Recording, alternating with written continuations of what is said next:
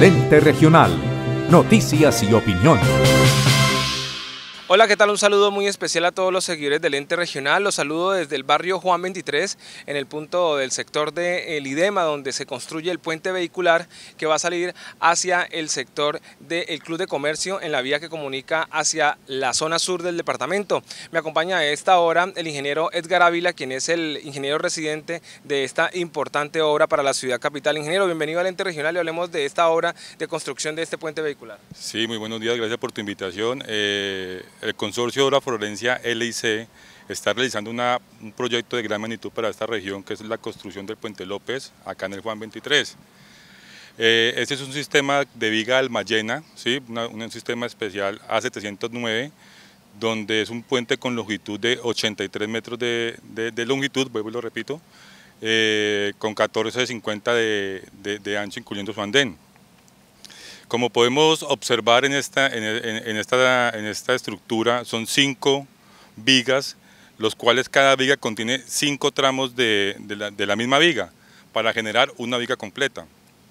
Eh, en este momento hemos instalado 14 tramos que equivalen a dos vigas, que es la viga 1 y viga 2, y en este momento estamos realizando todo lo que es el arriostramiento para poder continuar con la instalación de la lanzamiento e instalación del tramo 3 eh, y 4, la viga 3 y 4.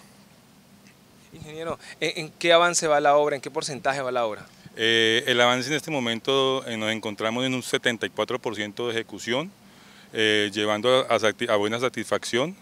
el proyectado es, según lo proyectado para la, para la terminación de la estructura de las vigas, para el lanzamiento de la estructura de las vigas, está aproximadamente para finales de de, ¿qué? de octubre, a finales de octubre, a mediados de noviembre está programado exactamente la terminación del lanzamiento de las vigas.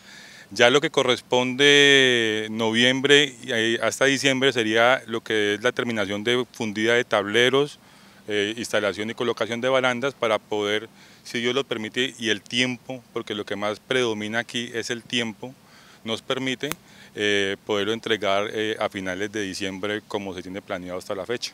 Ingeniero, en este momento se está haciendo un proceso de soldadura sobre una de las vigas. Eh, ¿Cuándo se instalan las otras dos vigas para ese proceso de soldadura? Eh, como te comenté eh, al inicio, son cinco vigas ¿sí? que se van a instalar. De estas cinco vigas vienen siete tramos. ¿sí? Los siete tramos son distancias de 11.20 a 11.80, a 11, sumadas todas nos dan los 83 metros exactos. ¿Sí? En, este momento tenemos dos vigas instaladas, ¿sí? se está haciendo el arriostramiento de las dos vigas, ¿sí? Eh, para que nos falte en totalidad, nos faltarían tres vigas, en totalidad serían siete tramos, serían 21 tramos de vigas para poder terminar lo que es el viga 3, viga 4 y la viga 5. En este momento tenemos terminado lo que es viga 1 y viga 2. Eso nos demoramos hasta el 15 de noviembre, es el tiempo máximo que tiene el contratista de la, de la estructura del puente en entregarnos a nosotros y nosotros poderlo entregar a, a la interventoría como tal.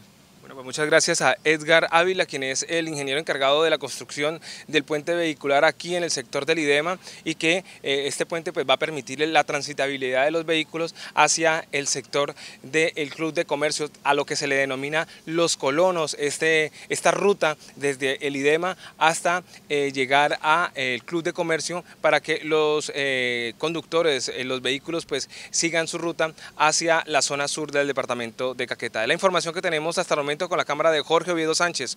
Un informe de Jefferson Montaña para el Ente Regional Noticias y Opinión. Somos Gas Caquetá, SAESP, empresa caqueteña que genera empleo en la región. Llegamos hasta sus hogares con atención personalizada para encender la llama del desarrollo regional. Servicio de ventas y preventas dirigidas a las familias caqueteñas con la misión de satisfacer las necesidades y expectativas de nuestros clientes. Gas Caquetá, SAESP, la mejor energía al servicio de la comunidad.